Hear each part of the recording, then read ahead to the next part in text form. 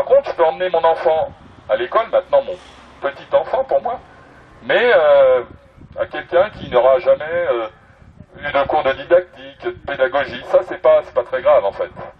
L'important, c'est qu'il y ait quelqu'un. On a bien compris. Alors en plus, euh, c'est des emplois précaires. Hein. On va pas non plus reconnaître le travail de ces personnes qui vont quotidiennement se charger de l'éducation de nos enfants. Hein. Quand on aura un peu besoin, on les dégagera.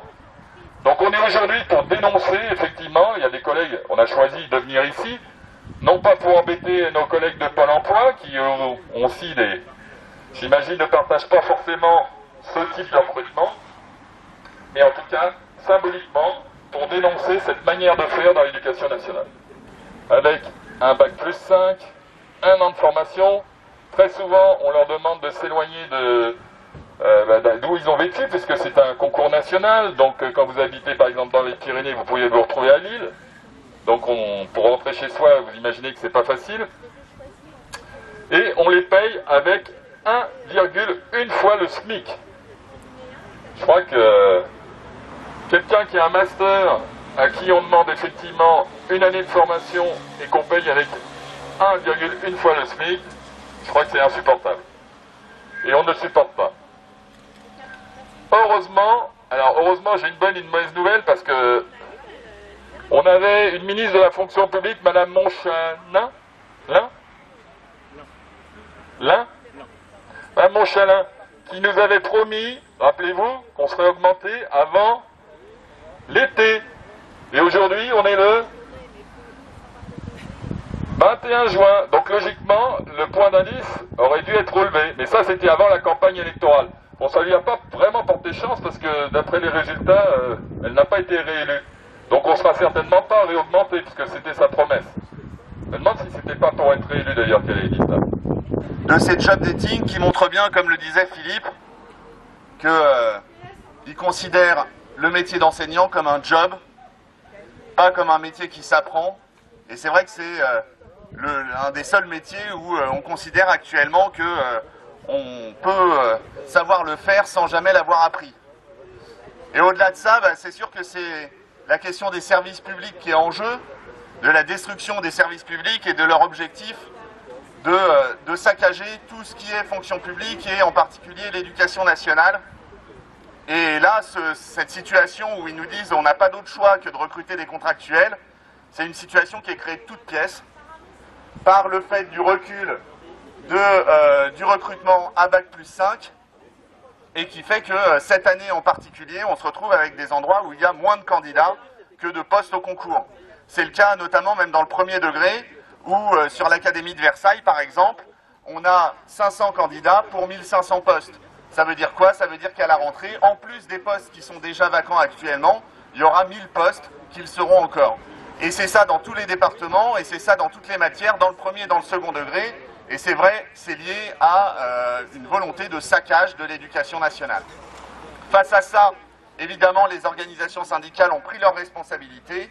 Et quand on a vu que euh, à Auxerre même, euh, des job dating seraient organisés, on a pris la décision d'appeler à ce rassemblement et de, montrer notre mécontentement et notre refus de, cette décision. Dans ce sens, et ça, rejoint ce- cette, cette mobilisation, demain, le rassemblement qui aura lieu euh, à Auxerre devant la DSDEN, là où sont prises les décisions euh, pour notre département. Euh, ce rassemblement permettra de réunir à la fois les collègues du second degré qui sont impactés là par ce recrutement par job dati- dating et par le, recrutement de contractuels et les enseignants du premier degré qui sont aussi touchés et notamment par le fait que l'administration de l'éducation nationale refuse les temps partiels, refuse les disponibilités, refuse les changements de département euh, et même les absences pour les collègues euh, afin de, de- de garder un maximum de ressources humaines euh, et d'enseignants face aux élèves. Donc en gros, c'est nos, nos droits qui servent de variable d'ajustement face au manque de personnel. Et ça, c'est inacceptable. On ne peut pas laisser passer le fait que ce soit les collègues qui payent encore le, les frais de euh, la politique du gouvernement et de cette politique de restriction budgétaire, de restriction de personnel dans l'éducation nationale et dans les services publics, puisque c'est le cas aussi dans les hôpitaux et plus largement dans l'ensemble de la fonction publique. euh, on détruit la fonction publique et après on vient se plaindre qu'on n'a plus la possibilité ni de soigner ni d'éduquer les élèves. Donc face à ça, il y a des solutions. Si on manque de personnel, on recrute et on peut très bien recruter sous statut. Le ministre a qu'une seule chose à faire, c'est prendre un papier, un stylo, de faire un décret pour dire qu'il organise des concours de recrutement exceptionnels là avant la fin de l'année pour la rentrée prochaine et recruter du coup sous statut euh, des enseignants en les recrutant avec un niveau Bac plus 3 et une formation qui suit pour les amener à un niveau euh, master. Donc il y a des possibilités, c'est le choix du ministère et il emporte l'entière responsabilité. La destruction de l'éducation nationale, on n'en veut pas, on est là pour le dire et on sera là encore demain pour le faire entendre. Euh, jeudi soir, il y a également les AESH et les AED qui seront mobilisés parce que eux aussi ils font face à la précarité et euh, à des métiers qui sont euh, dénigrés et qui sont rémunérés en dessous du seuil de pauvreté. C'est insupportable et c'est ce qui nous attend tous. Donc il faut qu'on se mobilise dès maintenant pour défendre nos statuts, pour défendre nos salaires et pour défendre la fonction publique et le service public d'enseignement. Merci à aujourd'hui qu'on recrute ses, collègues, hein, ses collègues qui seront recrutés, mais ça, rappelle aussi la précarité euh, que ce gouvernement engendre, hein, c'est-à-dire qu'on va embaucher des, gens sur des contrats courts euh, pour, euh, pour remplacer si besoin, et qu'on n'est pas du tout dans une logique justement de recrutement, comme le disait Lucas, de fonctionnaires, avec un vrai statut qui à la fois protège eh bien, le fonctionnaire, mais qui permet aussi de donner le meilleur, eh le meilleur des services publics et celui des services de l'éducation. Alors là, euh, effectivement, les critères de recrutement, on l'a vu, hein, donc euh, Arnaud, tu y es déjà, mais paire de basket, prof de PS, hein, c'est le critère. Euh, alors la blouse, la blouse c'est prof de chimie, c'est pas compliqué, si vous avez un crayon à papier, c'est... Alors il y a plusieurs possibilités, prof, avec un crayon à papier, vous pouvez même devenir, je sais pas moi, principal, je pense, hein, pour les emplois du temps qu'il faut faire et défaire. sinon, prof d'art plastique, effectivement. Euh, musique, si vous avez regardé la dernière euh, série de The Voice, je pense que ça, peut le faire. Hein. Vous avez quand même quelques compétences, hein. vous pouvez être pris comme prof de musique, surtout qu'il en manque dans le département. Alors c'est vrai qu'ils ont bien raison parce qu'il y a une pénurie d'enseignants. Alors, quelle meilleure solution que celle de prendre des gens comme ça euh, dans la rue hein? Il suffit de traverser la rue pour trouver un job, et ben là il suffit d'aller un peu plus loin, d'aller à Pôle emploi pour devenir enseignant. Alors, on, propose que les prochains dentistes, vous savez qu'on manque de dentistes dans le département, soient recrutés ainsi. Euh, moi, je me demande si je ne vais pas postuler au poste de dentiste, parce que déjà, c'est mieux rémunéré qu'enseignant. Je vous rappelle que pour commencer dans le métier, c'est 1,1 fois le SMIC. Et puis, si en une demi-heure, euh, je pense que je peux m'en tirer euh, sans problème. Donc, on voit bien qu'il n'y a aucun autre métier qu'on se permettrait de recruter comme ça. On le disait tout à l'heure, mais c'est bon de le répéter, pour, rappelez-vous, quand vous étiez plus jeune, alors moi ça me demande un effort de mémoire encore plus grand, mais pour travailler dans des colonies, il fallait avoir, il faut toujours le BAFA. On vous demande de passer un examen qui est une formation. Le BAFA, c'est une formation. Et bien là, il n'y a pas besoin de, formation. Hein. Si vous venez, là, je pense que le diplôme demandé est la licence, d'après ce que j'ai compris. Donc déjà, alors que les enseignants maintenant sont recrutés sur un bac plus 5, un master. Après, on vous demande une année de formation. Et en plus, et vous le savez, certains euh, en souffrent actuellement, puisqu'on vient d'avoir le résultat des mutations.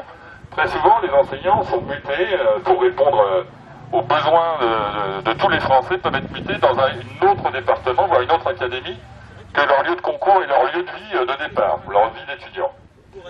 Eh bien, Aujourd'hui, on fait un appel d'air aussi à des gens qui, pour refuser euh, toutes ces contraintes, vont s'engager aussi, vont venir, et on les comprend. Sauf que c'est pas une solution. On ne peut pas se permettre de mettre des gens simplement pour faire de l'accueil. Alors on l'a dit et on le répète, enseigner, ça s'apprend. Alors les collègues qui vont bien sûr euh, répondre, et il y en a, on ne peut pas les blâmer. Quand on a besoin de travailler, eh bien, ça peut être une solution. On a été étudiant, on a un certain niveau, euh, on aspire peut-être à enseignant. Je pense que les collègues qui viennent, en tout cas aujourd'hui, il ne faut pas les blâmer. Euh, ceux qui sont à dénoncer, c'est quand même ce gouvernement qui a créé cette pénurie. Ça fait des années qu'on dénonce le problème de recrutement, le manque d'attractivité du métier, lié en premier déjà, on l'a dit, mais on le répète et c'est important, c'est les salaires de l'éducation nationale. Et je, je rappelle quand même qu'aujourd'hui, un enseignant qui débute gagne 1,1 fois, pour être plus précis, 1,14 fois, c'est le SMIC. Alors qu'ils ont tous un master et on fait un an de formation. Donc là, c'est... On nous avait promis une augmentation. Je pense qu'on l'attend encore. En tout cas, c'était avant l'été. Mais on nous a pas dit qu'elle était. Peut-être c'est là-dessus on a été naïf. Hein. Rappelez-vous, il y a quelques mois, euh, le point d'indice va être dégelé. Bon, c'était peut-être pour le mot dégel alors, en rapport avec le climat, mais en tout cas, on en, est loin. Donc aujourd'hui, effectivement, il faut absolument dénoncer, il faut que l'opinion publique soit d'accord, soit au courant plutôt, elle n'est pas d'accord l'opinion publique, qu'elle soit au courant, parce que euh, je pense que nos parents font confiance à l'institution. Et quand on dépose euh, ses enfants à l'école, ou au collège, ou au lycée, eh bien, euh, on ne va pas vérifier le niveau de formation des enseignants. Pour eux, euh, ils sont euh, accueillis dans les meilleures conditions possibles. Mais il faut dire que ce gouvernement eh bien, ne, permet pas le meilleur pour leurs enfants. Et je crois que c'est important d'avoir l'opinion, et aujourd'hui, des journées comme aujourd'hui, c'est aussi alerter l'opinion. Donc la presse est là, on les remercie. On a une couverture assez importante de France Bleu, puisque tous les journaux du matin ont été ouverts avec ce job d'éthique. Alors ils vont pas faire toute la journée là-dessus, mais c'est quand même important que tous les, journées, tous les journaux de la matinale de France Bleu aient parlé de cette mobilisation et nous ont donné la parole et on s'est exprimé pour dénoncer ça. Les organisations syndicales, on a été euh, entendus. Donc ça c'est important d'alerter. Euh, bien sûr l'Union républicaine, dont on salue aussi la présence, on, fait tout à fait confiance pour faire remonter euh, nos revendications et que l'opinion publique soit au courant de ce qui se passe actuellement et que c'est pas une solution en tout cas de recruter comme ça, euh, au doigt levé, euh, au doigt mouillé, euh, des, personnels. C'est à la fois préjudiciable aux élèves, donc, alors qu'on l'a dit, ils ont vécu deux ans de pandémie, vous le savez, au quotidien, nos élèves ont des lacunes hein, liées à ces absences, liées à ce décrochage. Eh bien, nous, on avait réclamé en tout cas ce qui est une, on va dire un engagement fort de ce gouvernement, avec le recrutement massif, mais de vrais enseignants Après tout ce qui a été dit, c'est pas juste dire qu'on est totalement solidaire de ce qui se passe, euh, de ce qui a été dit euh, par les collègues des autres organisations syndicales, euh, pour répéter de manière synthétique, enseignants, c'est comme tous les métiers, ça s'apprend. On ne veut pas des enseignants contractuels qu'on va jeter ensuite sans, sans leur donner la... Ou alors c'est une simple promesse de les embaucher, de les garder, ça c'est pas vrai, on les gardera pas. Donc euh, on ne peut pas accepter des choses pareilles.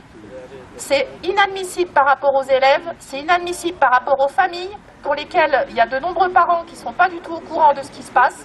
C'est un manque de respect pour l'ensemble des enseignants. Donc c'est tout ce que je peux rajouter, tout a été dit. Pour l'instant, voilà, partiel des concours, ça tombe en ce moment. Mais on a des collègues qui, suite à un master de mathématiques, de physique, de PS, d'histoire, ainsi de suite, de toutes les disciplines qui sont proposées au CAPES, au CAPET, ou à tous les diplômes, eh bien, ont travaillé fort pour avoir un concours.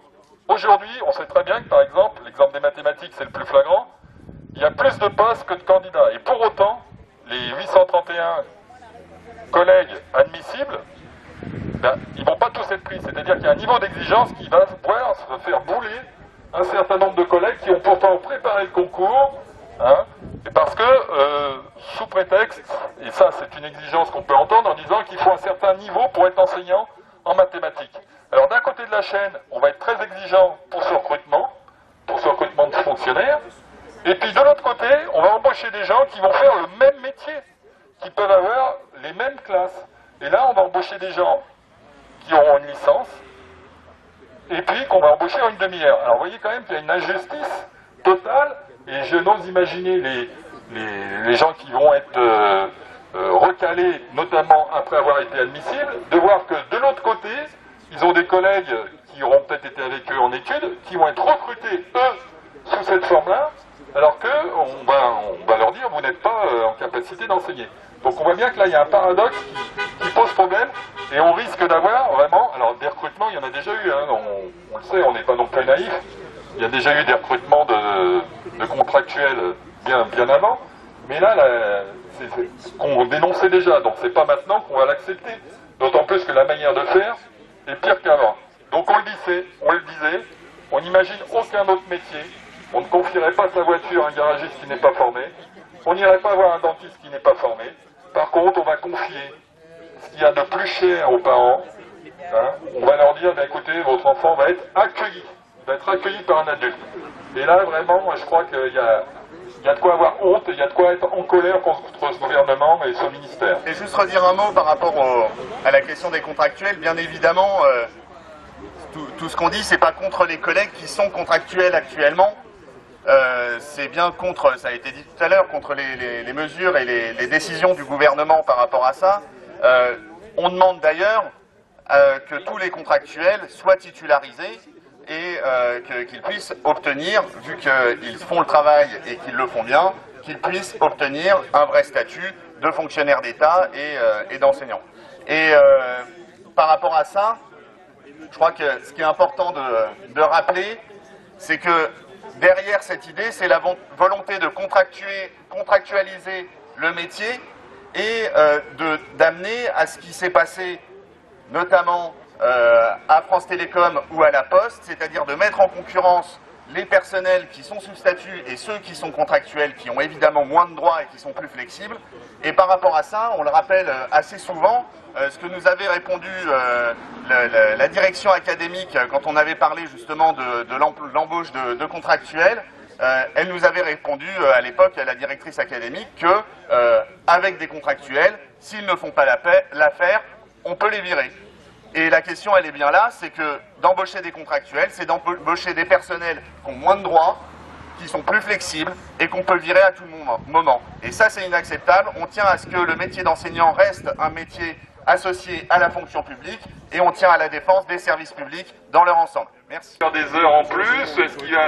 Voilà, il ne pourra pourra pas refuser. Et ça, les contractuels le vivent déjà aujourd'hui. Hein, les contractuels, eh bien, on sait très bien que c'est très difficile pour eux de refuser euh, euh, tel service, telle mission, euh, de venir en plus, tel jour, parce que le principal les tient sous le fait que ben, s'ils veulent retravailler l'an prochain, ils dépendent vraiment de cette personne. Alors heureusement, tous les principaux sont pas comme ça, mais on ne peut pas se permettre de laisser ça sur l'individu. J'allais dire l'enfer, l'envers, mais l'enfer aussi pour certains. Donc là, il est, urgent euh, d'alerter ce gouvernement et ses services publics qui sont détruits parce que c'est une destruction des services publics. On voit bien ce que ça donne hein, en ce moment, euh, notamment avec le résultat des élections. À demain. Merci. Et à demain, effectivement.